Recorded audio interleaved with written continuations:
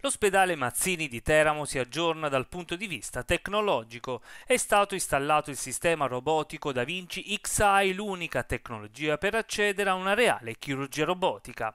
Un sistema che rappresenta l'ultima evoluzione della chirurgia mini-invasiva successiva alla laparoscopia, in cui il chirurgo non opera con le proprie mani ma manovra un robot a distanza, rimanendo seduto a una console posta all'interno della sala operatoria. Un potenziamento che per l'assessore regionale alla salute Nicoletta Veri rappresenta anche una risposta alle accuse mosse, in particolare dell'opposizione regionale. Ma questa è una delle risposte a queste accuse perché in questi anni abbiamo fatto veramente tante cose, un'evoluzione importante da un punto di vista sia strutturale sia del personale. Oggi viene presentato il robot che è stato installato presso il Mazzini e quindi sarà a disposizione di tutta l'azienda. Si parla di innovazione tecnologica per quanto riguarda la chirurgia robotica e quindi dei vantaggi sia clinici che sul paziente sarà attuato, sarà messo in atto per diverse discipline e quello che abbiamo potuto verificare questa mattina è che ci sono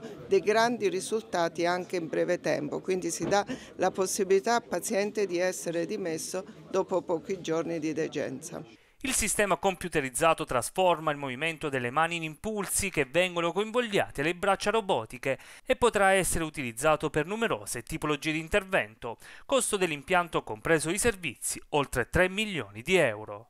Mancava questo, questa ciliegina sulla torta, tutte le altre ASL abruzzesi avevano il robot, gli ospedali hub dell'Abruzzo avevano il robot, Teramo non l'aveva. dovevamo eliminare questa, questa, questo gap che c'era e anche noi quindi ci siamo dotati di uno strumento all'avanguardia, ma soprattutto di dare un, una svolta clinica agli interventi di, per alleviare, ecco, per dire, rendere più preciso, più eh, all'avanguardia l'intervento a cui noi ci dobbiamo sottoporre.